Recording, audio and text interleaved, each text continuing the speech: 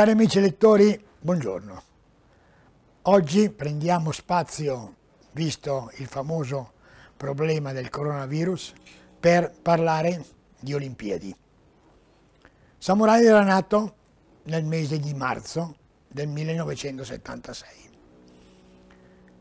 Appena cinque mesi dopo, Felice Mariani alle Olimpiadi di Montreal portò all'Italia la prima medaglia olimpica, bronzo. Piccolo antefatto da ricordare. La, la campagna per, perché lo sport del judo diventasse olimpico era partita negli anni prima della guerra. Già forse nel 1940 doveva diventare olimpico, anche se per sfortuna Gigaro Kano era morto qualche anno prima. La guerra ha cambiato tutto il ciclo. Da una cosa all'altra si è arrivati a decidere che fosse sport neppure dimostrativo, ma come si diceva allora sport in prova, nel 1964 la decisione fu presa a Roma in agosto del 1960, durante le famose Olimpiadi romane. Quindi passo lungo e arriviamo a Felice Mariani. Mariani è nato nel mese di luglio, un mese prima delle Olimpiadi, oppure quasi a cavallo delle Olimpiadi. Forse la medaglia di bronzo era per il suo compleanno, era stata preparata, diciamo così. Felice Mariani è stato un grande atleta, non si discute, non è solo per il valore della medaglia, ma per quello che ha fatto sul tatami di tutto il mondo. Lo abbiamo avuto anche come ospite, come samurai, alla grande dimostrazione alla Pasqua del Budo, dove ha fatto vedere il suo, il suo valore a gente che non lo conosceva. Pochi sapevano chi era Felice Mariani. Allora non c'erano 72 televisioni, non c'erano 478 giornali, le ribattute su Facebook e non Facebook, eccetera. Notizie, le notizie erano scarse. Noi di Samurai ci eravamo battuti per avere qualche notizia in più avevamo a Montreal due personaggi importanti, Frangipane e Carlo Gobbi della Gazzetta dello Sport, che erano uno dei nostri eh, collaboratori impegnati. Non, è, non era facile in quel tempo reclamizzare una medaglia, era, era così difficile già pensare di essere accreditati. Quindi le Olimpiadi erano una cosa per il paese che organizzava, il Canada, anche quello un po' sconosciuto negli anni eh, 76. Eppure portammo a conoscenza del grande valore di queste Olimpiadi. imparammo a conoscere personaggi come Gesing ed altri personaggi importanti che faranno la storia del judo. Storia del judo che il judo italiano era partito prima, prima di Felice Mariani ma Felice Mariani è stata una punta di diamanti in quel periodo. Noi parlavamo di judo su Samurai grazie a Cesare Barioli, soprattutto quando Cesare accettò di essere il condirettore di Samurai.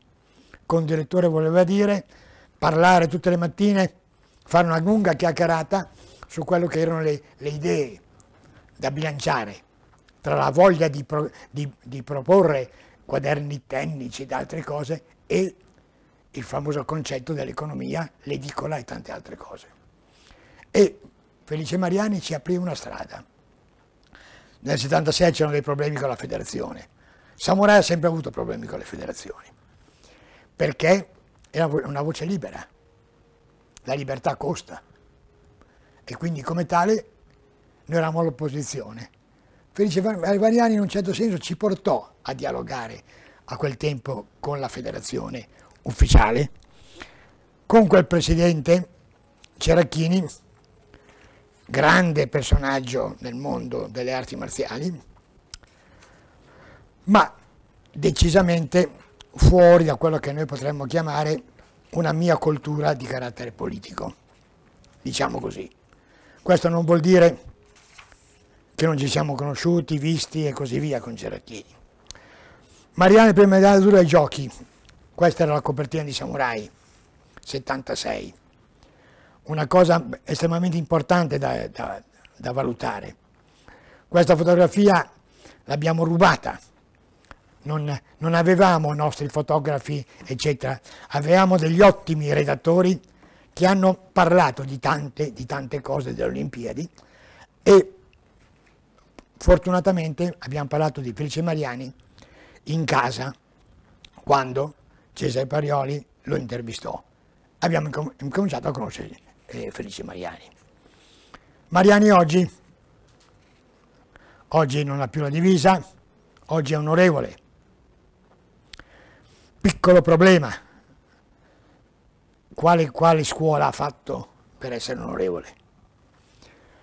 se per diventare maestro di judo bisogna, allora si bisognava fare l'accademia e comunque oggi fare dei corsi di specializzazione, oggi gli onorevoli nascono e muoiono così, come una, come una matita che si rompe.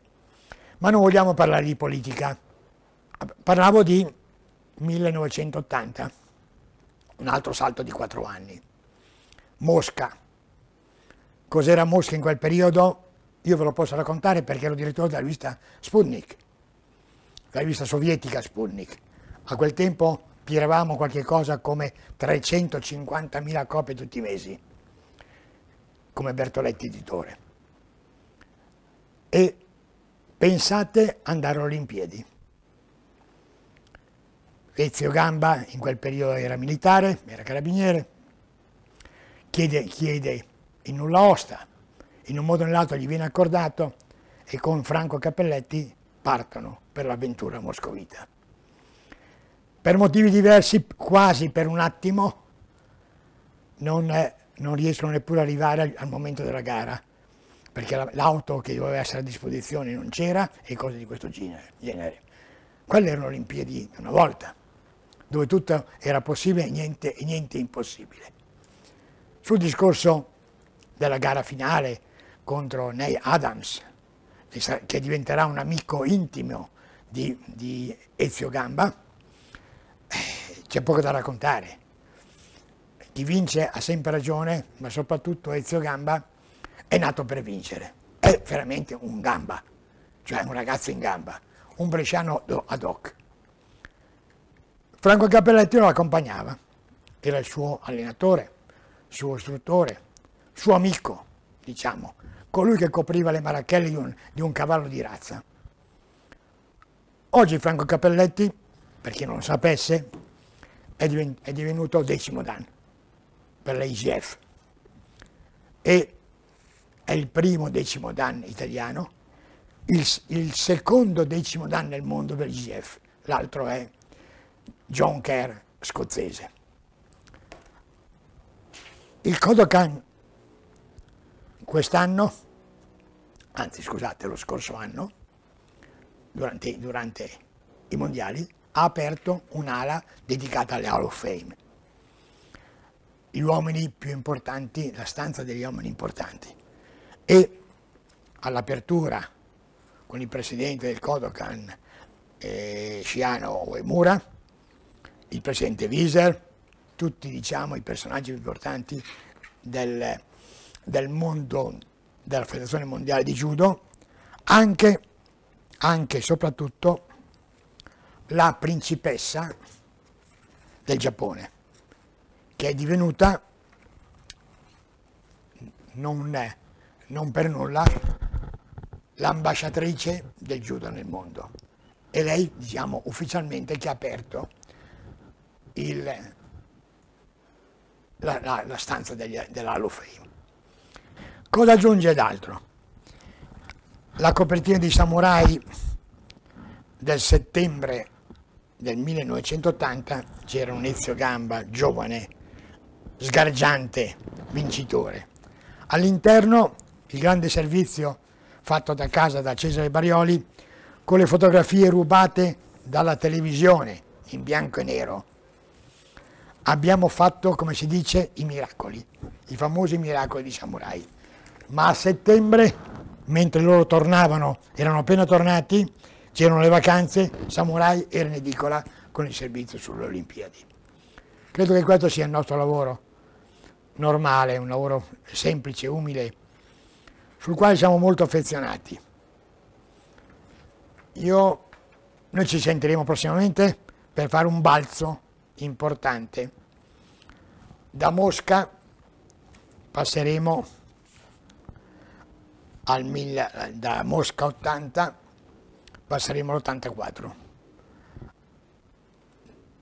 Il judo è diventato sport olimpico nel 72 a Monaco, quindi dal, 60, dal 64 che era sport, come ho detto, in prova,